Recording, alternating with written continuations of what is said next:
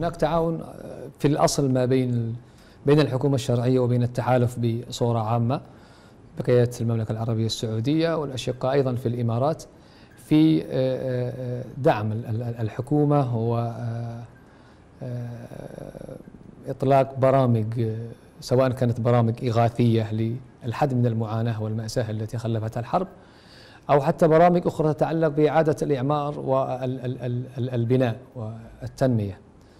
في القطاع السمكي هناك تعاون وهناك تواصل بيننا وبين مركز الملك سلمان وأيضا البنك الإسلامي للتنمية وبرنامج إعادة إعمار اليمن.